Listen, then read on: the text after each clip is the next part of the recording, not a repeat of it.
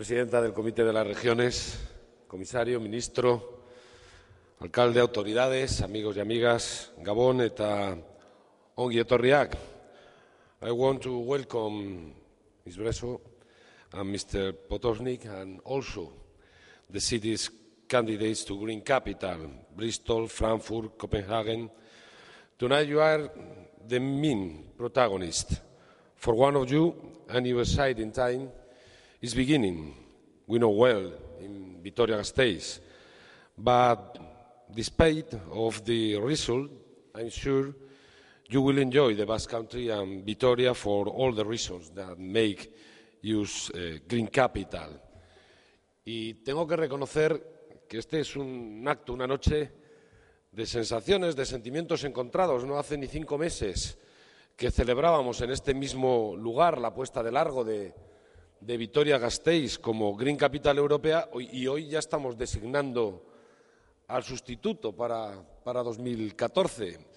Y creo que, que, todos los vitorianos y vitorianas, y especialmente quienes estuvieron en Estocolmo hace dos años, recuerdan con ilusión el nombramiento de, de Vitoria-Gasteiz como Green Capital, los meses de trabajo previo, el compromiso contagiado entre instituciones y ciudadanía y, sobre todo, la explosión de, de júbilo de, de, aquella noche, escenificada, entre otros momentos, por las gafas voladoras del entonces alcalde Pachilazco. Aquella noche nos pusieron una medalla, pero el premio lo habíamos ganado hacía tiempo. Porque la verdadera conquista, el gran logro de Vitoria no empezó el 21 de octubre de 2010 en Estocolmo, ni terminará el 31 de diciembre de este año. Esta es una apuesta de largo plazo, de largo recorrido, que no tiene fecha clara de inicio y que, desde luego, esperamos que permanezca en el tiempo durante décadas, porque esta es una apuesta que nace de un compromiso por la sostenibilidad de las distintas instituciones municipales, forales, autonómicas. A pesar de nuestro distinto color político, todos hemos apostado por el verde, como punto de encuentro de las distintas sensibilidades.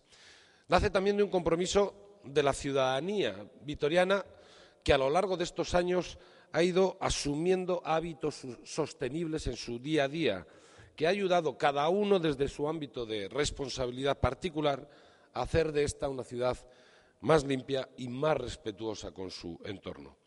De un compromiso, en definitiva, de país, porque aunque Vitoria-Gasteiz sea hoy el icono y la bandera de las políticas medioambientales, la segunda mejor ciudad de España para vivir, como decía recientemente un estudio, lo que hay detrás es una sociedad entera convencida de que hay que avanzar en el siglo XXI sin hipotecar las opciones de vivir dignamente las generaciones venideras. La crisis nos está haciendo repensar todas nuestras políticas. Las respuestas que teníamos aprendidas ya no valen para contestar a las preguntas que nos plantea este nuevo tiempo. Pero una cosa tenemos clara, una cosa debemos de tener clara. Toda política de crecimiento, toda política industrial, de vivienda, de infraestructuras, debe de tener el componente de la sostenibilidad adscrito a su ADN.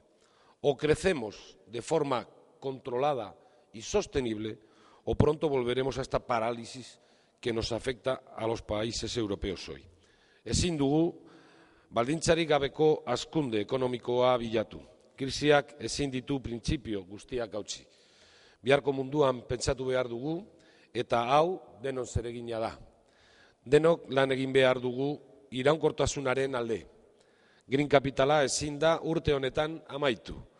Luze iraun behar du gure politika eta eguneroko ohiturean.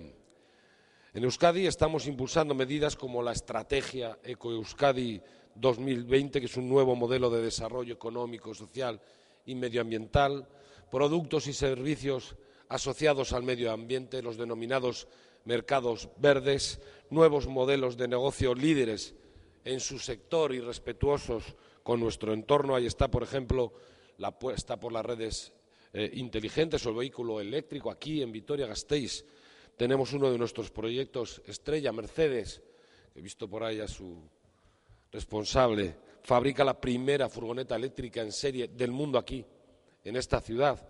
Pero repito, más allá de los proyectos concretos, más allá del compromiso de los gobiernos de uno o de otro color, esta debe ser una apuesta colectiva, un lugar en el que nos encontremos todos para recorrer juntos el camino de este nuevo siglo. La Green Capital Europea está siendo un motivo de orgullo para todos y debe de ser también el aliciente para seguir trabajando en esta dirección en los próximos años. Pronto cederemos la capitalidad a otra ciudad amiga, pero el color verde debe de permanecer aquí, debe seguir adscrito a nuestra ciudad y a nuestro país como una seña de identidad a la que no renunciaremos nunca. Este debe ser el gran legado de la Green Capital, esta es la conquista permanente de vitorianos y vitorianas, de vascos y de vascas, así que gracias por haberlo hecho posible, suerte a los candidatos que en el fondo ya han ganado, porque han ganado en sostenibilidad para su ciudadanía, eskerrik asko denoi eta ondo izan.